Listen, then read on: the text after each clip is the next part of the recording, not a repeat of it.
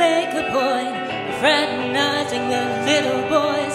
You better sort your shit out quickly. Save your hesitations for somebody who gives a shit. I got so